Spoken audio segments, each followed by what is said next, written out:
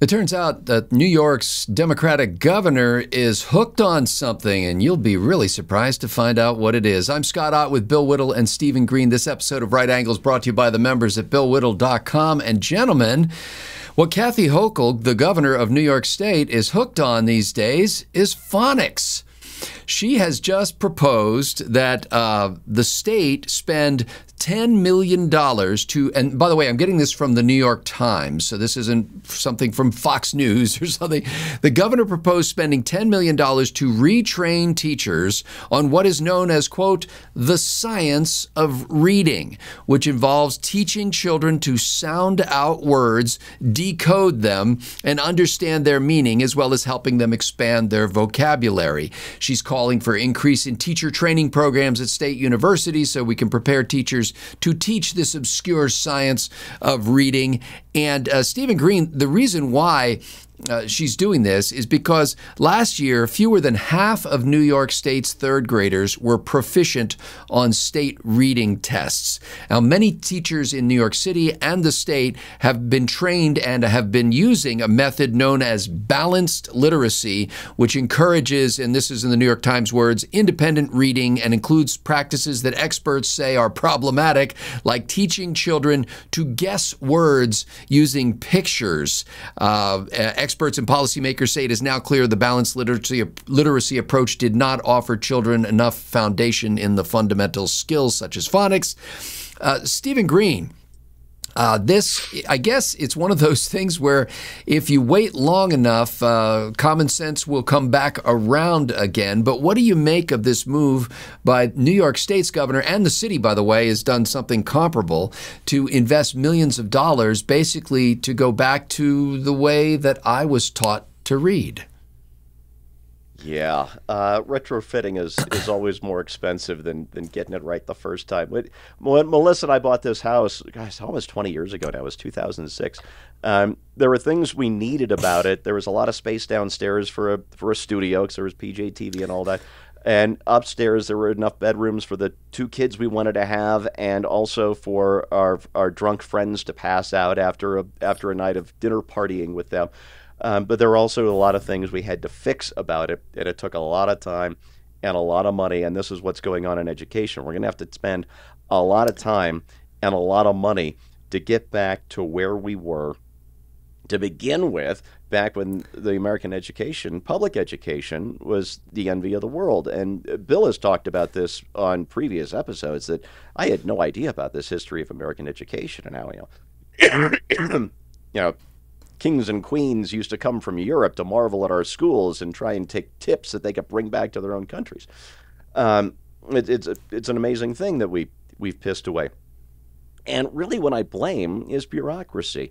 Whether it's these, these huge unified school districts like you have in Los Angeles, the state departments of education in all 50 states that are just huge and bloated, and of course, the federal Department of Education, which never should have existed and has been instrumental since its creation in the 1970s in destroying American public education. And the reason is, Scott, bureaucrats have to justify their sad, useless existence.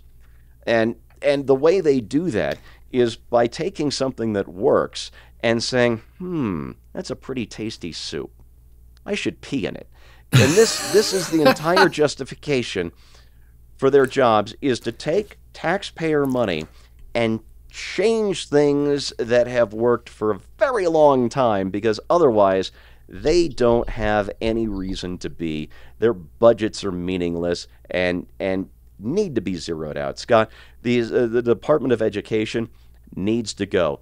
Uh, state level education departments, whatever they're called, need to go. These unified school districts need to go.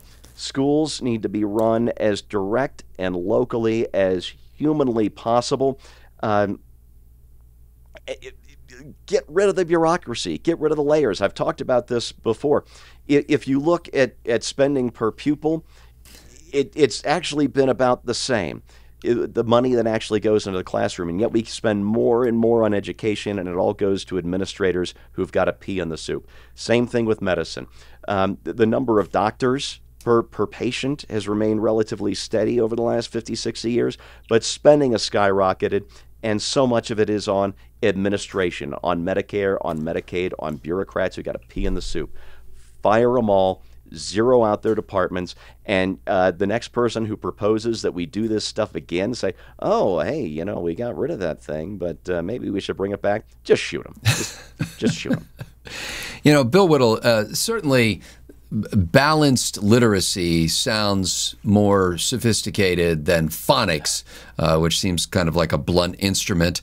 Um, and I don't want to be the person who stands up and, and says there's no opportunity for innovation in the way we teach or, or the way students learn in the school system. Um, so, how do you how do you balance that idea where you say, yes, we want to constantly be learning and growing um, so that we get better at doing what we're doing, but we don't want to throw the baby out with the proverbial uh, bathwater? Um, is it just that you have to do what Kathy Hochul is doing now, which is basically rechristening uh, phonics as the science of reading and telling everybody that we now have to follow the science? Well, first of all, that's the entire uh, progressive uh, history in a nutshell. We tr- try a policy, have disastrous results, rename it, and try it again. Um, balanced literacy, to me, sounds like well, we're going to strike a balance between a really good way to educate people and a really bad way to educate people. We're going to strike a balance between these two things, right? Now, I'm one of these guys that thinks that you know just outside the box thinking. Maybe literacy shouldn't be balanced. Maybe literacy should be should be excellent. Maybe you should stick 100% to the way that works and leave the way that doesn't work out completely. I know that's exclusive and and and and, and all the rest of that thing. But yeah, that's that's so that's that's the first thing. Um, the, for for many, first of all, a quick moment of silence for the two generations we've lost mm. as a result of this of this insanity the the teaching methods that they went to to replace phonics was I think it was called um, see and say. Here's the word giraffe, and here's a picture of a giraffe. Memorize these hieroglyphics in this order because that's what a giraffe is. I'm not kidding. I'm yeah. not kidding at all.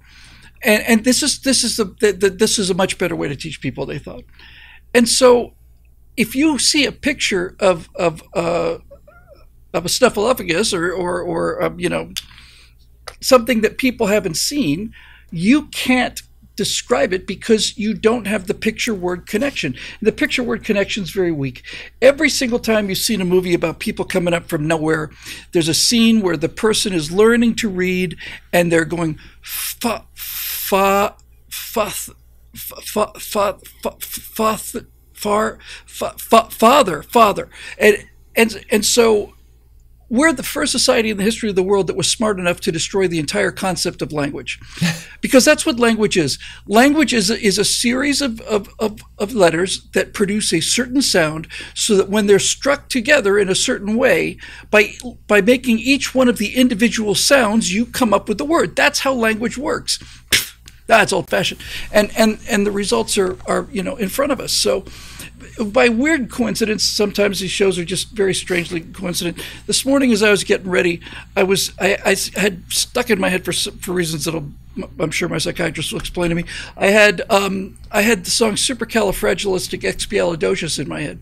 It just was, and I thought I could spell that. I could absolutely I could spell that right now.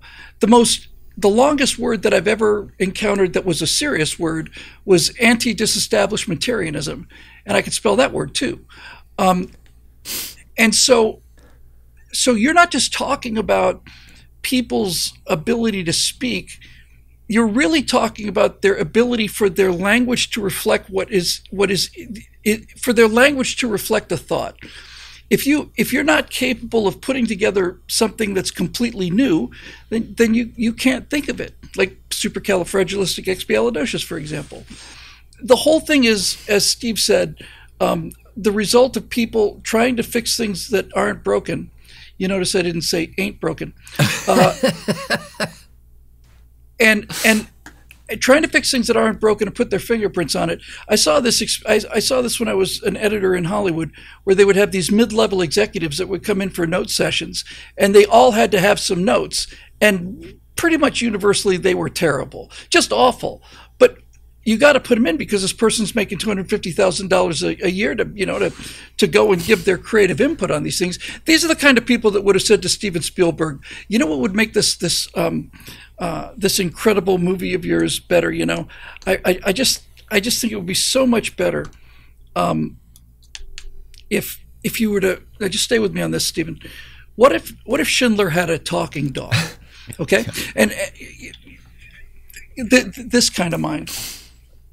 So yes, all of it is a tragedy. Now, also some of it, even when we were teaching language, uh, well, when I was in fifth grade, sixth grade, I came over here from Bermuda. We got into sentence diagramming, and we never diagrammed a sentence in English school, and our grammar was perfect. Um, I'll give you a quick example. You know, a lot of people have problems with the I me thing.